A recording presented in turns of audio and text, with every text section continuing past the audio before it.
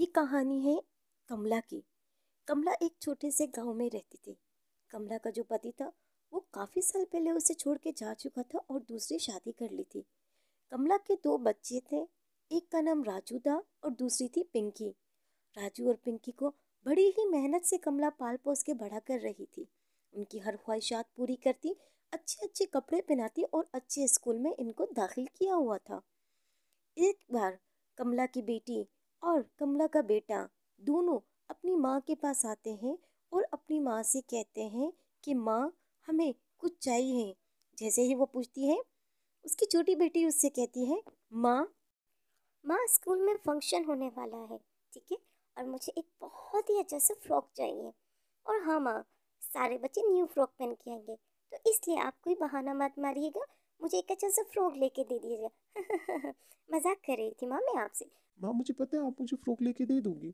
हाँ माँ मेरे स्कूल में भी फ़ंक्शन है और मुझे भी एक अच्छी सी न्यू शर्ट चाहिए और आप मुझे अच्छी सी एक न्यू शर्ट दिला के देंगी तभी मैं वो फ़ंक्शन अटेंड कर सकूँगा। नहीं तो मैं बिल्कुल भी फ़ंक्शन अटेंड नहीं करूँगा और मेरी यही जिद है कि आप मुझे एक अच्छी ब्रांडेड शर्ट दिला के दोगी जैसे सबकी मदर दिलाती हैं।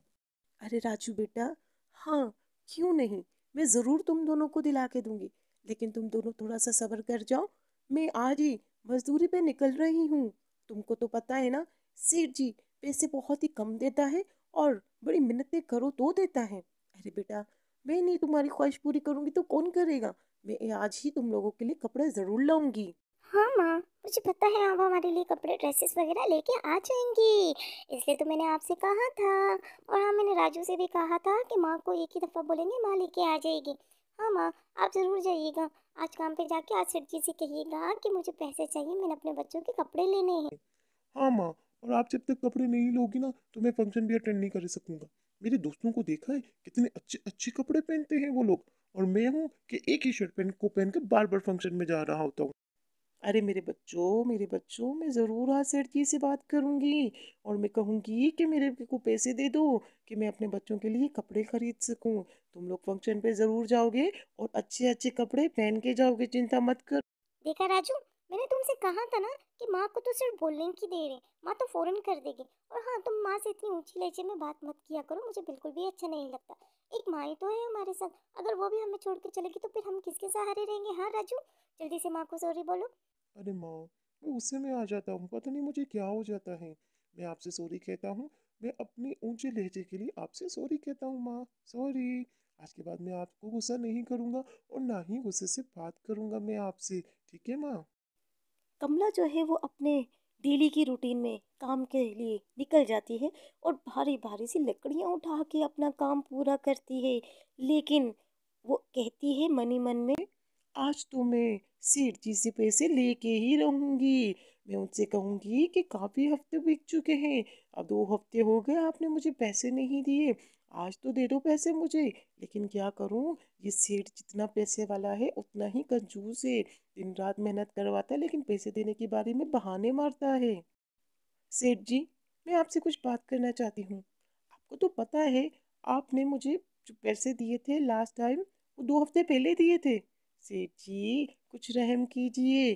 पूरे पूरे दिन काम करवाते रहते हैं, लकड़ियाँ उठाते रहते हैं और लकड़ियाँ काटते रहते हैं।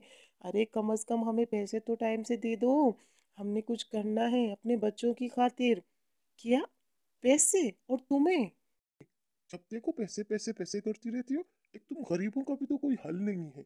बस तुम्हें एक ही काम आता है, पैसा पैसा पैसा पैसा। काम तुम लोग दो टक्के का नहीं करते हो। सुबह तुम्हें मैंने क्या कहा था कि लकड़ियाँ ज़्यादा उठानी है? तुमने कितनी उठाई? दो तीन उठा के तुमने रख दी और फिर आके कहती हो कि मैंने बहुत सारी लकड़ियाँ उठाई और मुझे पैसे दे दो। क्या पैसे पेड़ पे उगते हैं? हाँ ये सारी बातें सुनकर कमला बहुत ज़्यादा चिंतित हो जाती है कि सेठ जी बात किस तरह से कर रहे हैं? अरे, अब क्या होगा? मैं अपने बच्चों के लिए कैसे कपड़े लूँ? कमला ये सारी बातें सोच के बड़ी ही उदास हो जाती है और वहाँ से अपने घर के लिए निकल जाती हैं। कमला अपने घर पे बैठी हुई यही सोच रही होती हैं कि आखिर वो इतने पैसे कहाँ से लाए कि वो अपने बच्चों की ख्वाहिशात भी पूरी कर सके और घर का रोज़मर्रा का खर्च भी कर सके। क्योंकि इस सेठ के पास काम करने का तो कोई फ़ायदा नहीं है, वो तो मुझे कुछ देते भी नहीं हैं। मैं दरवाज़ा खटक रहा था, दरवाजे के बाहर गई और पूछा, कौन है? तो देखती हूँ कि एक लड़की और एक लड़का है जो कि दरवाजे के बाहर खड़े हैं। मैंने पूछा, अरे बाबूजी, क्या हुआ? आपने दरवाज़ा खटखटाया? कोई काम था क्या आपको? इतने में वो अनजान लड़का कमला से पूछता है, अरे माँ जी, यहाँ पे कोई होटल है क्या? अरे माँ, हम लोग सुबह से भटक रहे हैं। हमें यहाँ पे कोई होटल नज़र नहीं आ रहा है। बड़ी ही भूख लगी है। दो दिन हो गए कुछ खाया भी नहीं है। हम लोग दरअसल भटक चुके हैं। हमारी गाड़ी खराब हो गई थी। और अब वो गाड़ी भी ठीक नहीं हो रही इस गाँव में। माँ जी, अगर आपको पता है यहाँ पे कुछ खाने पीने की जगह या गाड़ी की सर्विस करवानी है हमें, कुछ जगह बता दीजिए ताकि हम लोग वहाँ चले जाएँ। माँ जी, बड़ी ही भूख लगी है। कोई कुछ भी बता दीजिए, हम लोग वहाँ जाके खा पी लेंगे। अरे बेटा, तुम लोग इधर उधर क्यों भटक रहे हो? अगर तुम लोगों को ना लगे बुरा तो मेरे घर आ जाओ। मेरे घर आ जाओ। मैं आप लोगों को खाना पेट भर के खिला देती हूँ।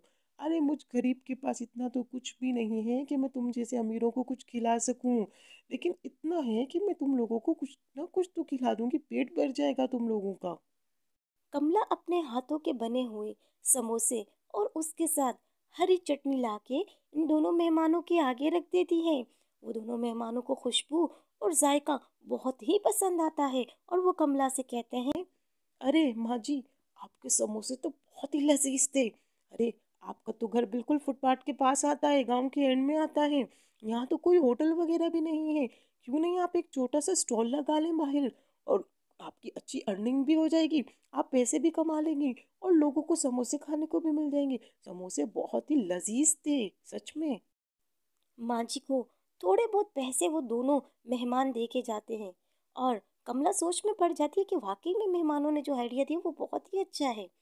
कमला हँसते हँसते से अपनी एक छोटी सी स्टॉल खोल लेती है और वहाँ पे समोसे बेचना शुरू कर देती है। कमला घर पे समोसे बना के बाहर बेचती और लोगों को ग्राहक भी आते हैं और बहुत खूब इंजॉय करते समोसे खा के। ऐसे कमला समोसे बेच के एक बहुत ही अमीर औरत बन जाती है और अपने दोनों बच्चों की सफलता और अपनी सफलता देख के बहुत खुश होती है। एक अच्छा और बड़ा घर ले लेती है और उसे याद आता है। अपना बीता हुआ वक्त, बीता हुआ वक्त याद आता है कि वो किस तरह से अकेले सर पर इतनी मेहनत करके आज एक सफलता हासिल कर चुकी है। उसे याद आता है कि वो कितने दो दो तीन तीन रुपए के लिए सेठ के तरले पड़ले होती थी, लेकिन वो फिर भी नहीं मानता था और उसे पैसे नहीं देता था। मेहनत और लगन से आज कमला ने अपनी एक जीत और सफलता हासिल कर ली है। समोसे बेच के वो एक अमीर औरत बन जाती है और अपने और अपने बच्चों की अच्छी परवरिश करती है। इसे कहते हैं समोसे वाले की एक अच्छी सफलता।